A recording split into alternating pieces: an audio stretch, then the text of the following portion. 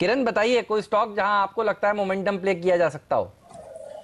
अगर compulsive trader है तो ही मैं दलजीत सिंह से बिल्कुल कोहली साहब से बिल्कुल सहमत हूँ कि ये चार्ट में कुछ ऐसा बड़ा दमकम नहीं दिख रहा है। हालाँकि एक अच्छा प्राइस पैटर्न ब्रेकआउट दिख रहा है। क्योंकि ऐसे प्राइस पैटर्न इस स्टॉक ने इसके इसके पहले भी दिखाई दिए जो कि फेल हो चुके हैं। जब तक ये प्राइस पैटर्न का ब्रेकआउट फेल नहीं होने का सिलसिला बंद नहीं होता है तब तक इस स्टॉक में वैसे रुझान नहीं देखना चाहिए। अगर कोई कंपल्सिव ट्रेडर है तो आ, इन्वेस्टर है तो 235 के स्टॉप लॉस के साथ बाय करना चाहिए एवन ऑफशोर और मुझे लगता है कि इधर से करीबन two seventy five, two eighty तक लेवल्स लेवल्स तक ये स्टॉक जाने की संभावना बनती है। तो ये पोजिशनल व्यू रहेगा ट्रेडिंग व्यू नहीं।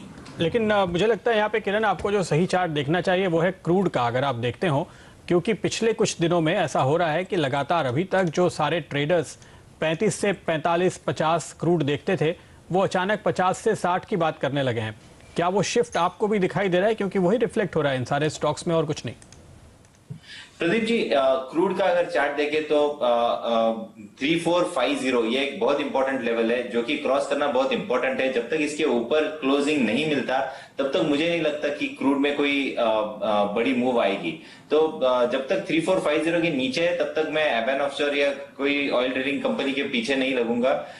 Thirty four fifty thirty five hundred के ऊपर अगर कंसिस्टेंटली रहता है तो मुझे लगता है कि जो आप बात कर रहे हो फिफ्टी सिक्सटी के बीच के बात कर रहे हो वो होने की संभावना बनती है।